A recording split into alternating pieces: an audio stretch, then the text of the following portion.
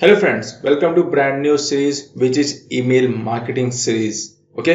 हम ये पूरे सीरीज़ में हम समझेंगे कि ईमेल मार्केटिंग कैसे काम करता है हम उसको क्यों यूज़ करते हैं ठीक है उसके प्रॉन्स एंड कॉन्स कौन से हम टूल यूज़ करते हैं उसके बाद हम समझेंगे इसके मतलब कंटेंट कैसे लिखते हैं ईमेल का कौन सा टेम्पलेट यूज़ करते हैं किस तरह से करते हैं ईच एवरीथिंग हम इस पूरे सीरीज़ में हम समझेंगे ओके सो लेट्स बिगेन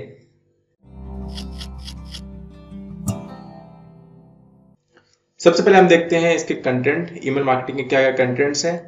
पहला आता है what is email marketing second है why we use email marketing third है how email marketing work fourth है email marketing pros and cons fifth है how to write the best email marketing content six है list of the best email marketing template and the seven जो है, वो है list of the best email marketing tool free and paid so let get started okay पहला part what is email marketing okay email marketing is one of the process of the market your business via email marketing because you can act of sending a commercial message to a group of people using email right जो एक email है marketing का जो part है, वो एक process होता है अपने बिज़नेस को मार्केट में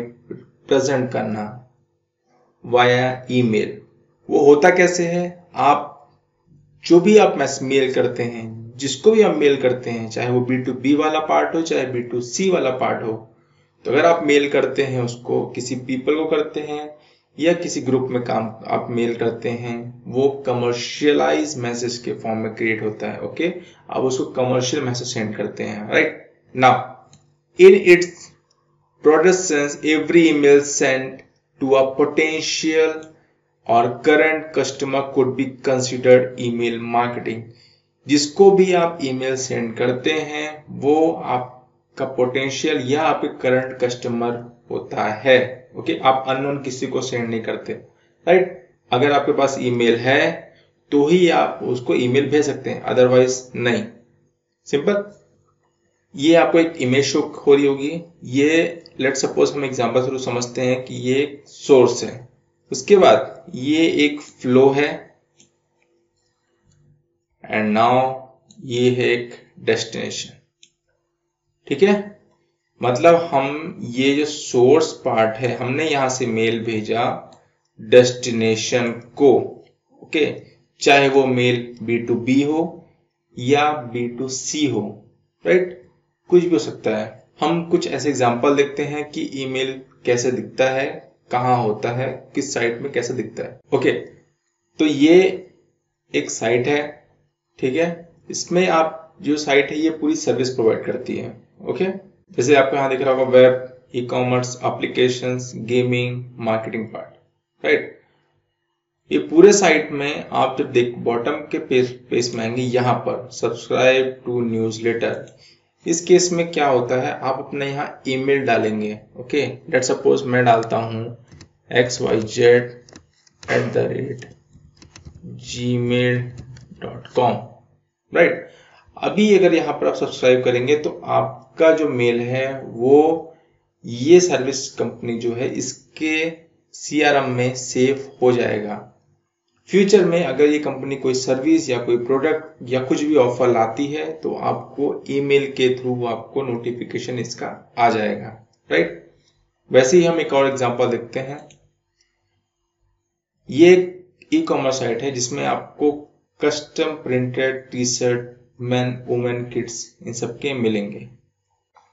तो यहाँ पर सबसे नीचे आप देखिए, यहाँ पर ईमेल एड्रेस का फॉर्म है। अगर मैं यहाँ पर भी मेल आईडी लिखता हूँ okay X Y Z at the rate Gmail dot com तो जैसे आप सब्सक्राइब करेंगे तो पहला एक ईमेल जाएगा आपके ईमेल आईडी पे, जिसमें कि आप उसको वेरीफाई करेंगे। वेरीफाई जैसे ही होगा उसके बाद ये जो ईमेल आईडी है, ये इस ई कॉमर्स कंपनी के साइट के सीआरएम में सेव हो जाएगा। वेरीफाई क्यों होगा? पहली चीज़। वेरीफाई होगा इसलिए कि जो ईमेल है वो आपका जेनविन है, ये चेकआउट करने के लिए। तो जब ये ईमेल आप सेव हो जाएगा इन इस ई कॉमर्स साइट के सीआरएम में तो जब ये कंपनी कोई नया प्रोडक्ट या कोई ऑफ़र लाती है तो आपको ईमेल के थ्रू आपको वो चीज़ें पता चलेंगी। ठीक है? मान के चलते हैं कि आपकी ईमेल में कुछ ऐसा ऑफ़र आ गया या कोई कोड आ गया कि आप इतना कूपन कोड डालिए और यहाँ से जो भी आप परचेस करेंगे, उसका कुछ परसेंटेज आपको डिस्काउंट मिलेगा। वैसे हम एग्ज़ाम्पल समझते हैं कि मान के चलते हैं कि आपके पास थाउज़ेंड लोगों का ईमेल आईडी है। अब इस ईमेल आईडी को आपने जो भी कोई प्रोडक्ट होगा या कोई सर्विस होगा, आप थाउज़ेंड लोगों को ईमेल करेंगे। मान चलते हैं कि आपका जो प्रोडक्ट या कोई सर्विस है, उसका प्राइस अराउंड हंड्रेड रुपीज़ होगा।